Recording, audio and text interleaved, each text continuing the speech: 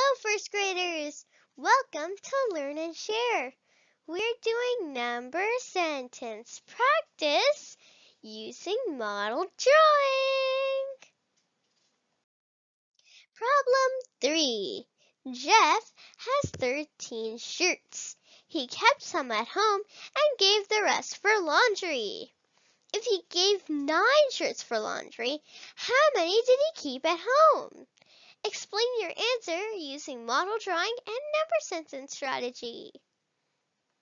Do you want to try it yourself? Feel free to pause the video and try it yourself. Do you want to see how I solved it? I solved it in a step-by-step -step way. Let's see it. Model drawing. Let's take a quick recap first. We use rectangles to represent the given quantities. So we represent the given quantities. We can also represent the quantities missing and the more quantities needed. We can represent the quantities missing with a question mark. This can be used for addition, subtraction, multiplication, and even division. So let's solve the problem now. Step 1. Draw a model to show the main idea. So Jeff has 13 shirts. Here are Jeff's shirts, and there are 13 of them. I've represented this with a rectangle. He kept some at home and gave the rest for laundry. So this one over here represents the shirts kept at home. If he gave nine shirts for laundry, how many did he keep at home? So on the other one, we have nine shirts. And these are the shirts given for laundry. We put the number 9 in there because we know how many shirts there are. We put a question mark in the other because we don't know how many there are.